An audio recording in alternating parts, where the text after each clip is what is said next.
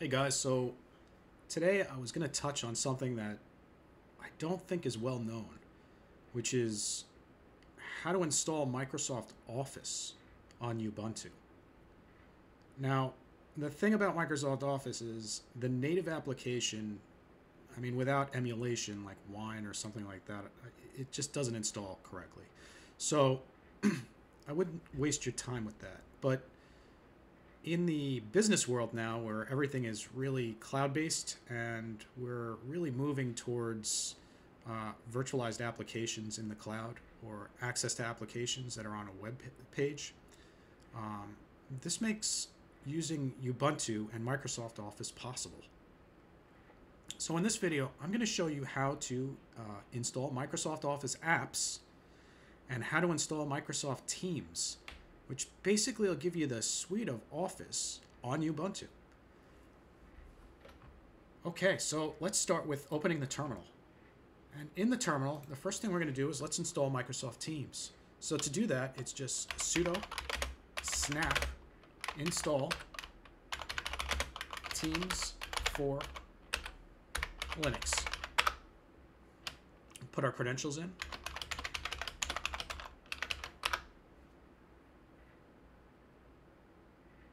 Wait a couple seconds here, and Teams is installed. Um, and we could tell that because we could see Teams for Linux right here.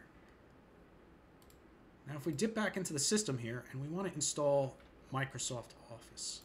Now here's the fun thing is technically Microsoft Office can't be installed, but the Microsoft Office web apps can be installed because the Linux operating system is very close to your Android-based devices or even your iPhone-based devices, which are all really Linux kernel or Unix kernel based.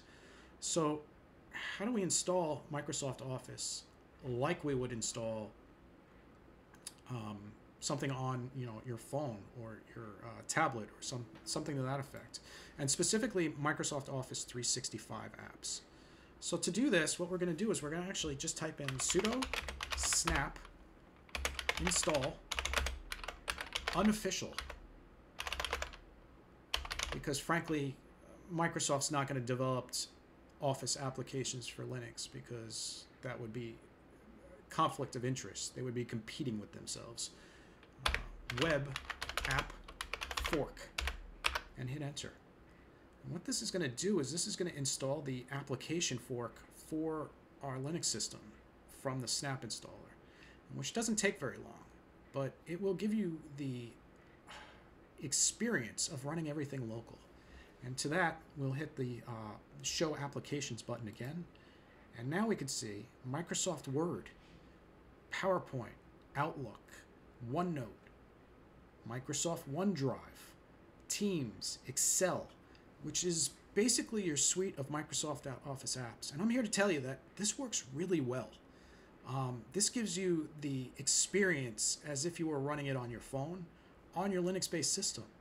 And there's with this experience and with this configuration, there's really no reason to buy the business premium apps. You could get away with the cheaper one because it'll publish the apps and allow you to use them based off of the cheaper uh, license configuration that you find on your uh, Microsoft billing.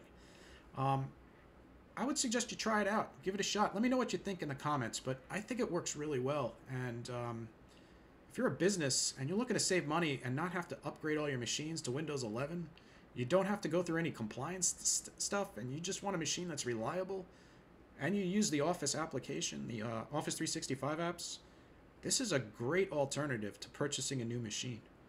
Again, uh, like and subscribe. Let me know what you guys think, and definitely let me know how this works out for you. If any problems, or um, if you used it in the past and you don't like it, I, I would like to know. All right, take care, guys.